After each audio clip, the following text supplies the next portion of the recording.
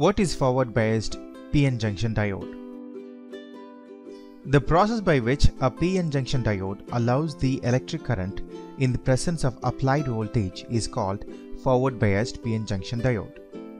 In forward biased PN junction diode, the positive terminal of the battery is connected to the p-type semiconductor material and the negative terminal of the battery is connected to the n-type semiconductor material. Now let's look into unbiased diode and forward biased diode. Under no voltage or unbiased condition, the PN junction diode does not allow the electric current.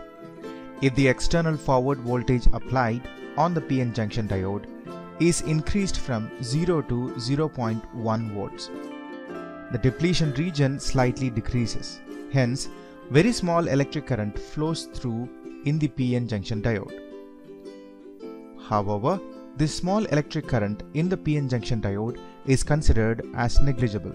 Hence, they are not used for any practical applications.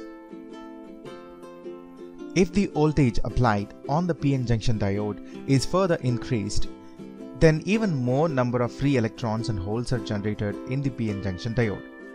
This large number of free electrons and holes further reduces the depletion region, positive and negative ions. Hence, the electric current in the PN junction diode increases. Thus, the depletion region of a PN junction diode decreases with increase in voltage. In other words, the electric current in the PN junction diode increases with the increase in voltage.